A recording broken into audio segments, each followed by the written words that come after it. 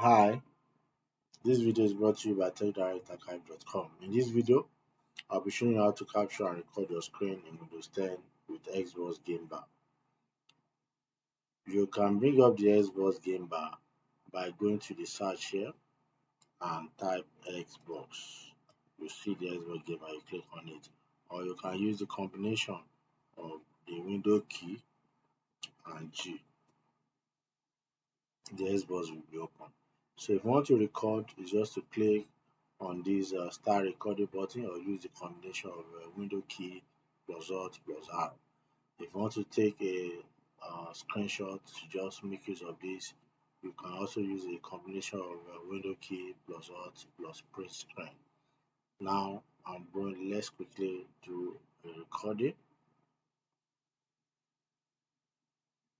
You'll see the pop-up capture status our screen is being recorded now. If you want to stop it just click on stop.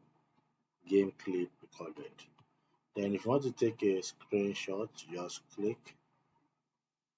Now screenshot has been saved. So but you may ask where are all these files being saved? So if you want to locate where these files are being saved it is always inside uh, your go to the users inside the videos file click on uh, sorry about that. Yes inside the videos file. Then you see captures.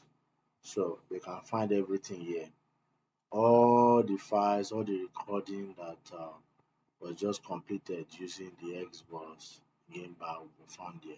And you also notice that uh, each file has been saved with the name of the file that is currently open on your system. For instance, this one uh, is a notepad file. So it captured or it uh, saved it with the name of that notepad. You can see this one is a document file it was saved with the name of that file. And um, if it is a video file it's always been saved as mp4 and if it is a screenshot it's always been saved as a png format. So um, i hope you enjoyed the video on how to make use of uh, uh, Xbox Game Bar to you can as well make use of this uh, Xbox Social. To sign in you can use it to chat with your friends say free voice and text chat.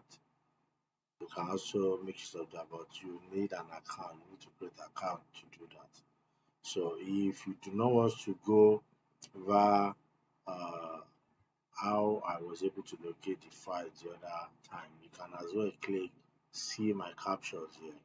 So this will also uh, lead you to where you have all your files. So thank you very much for watching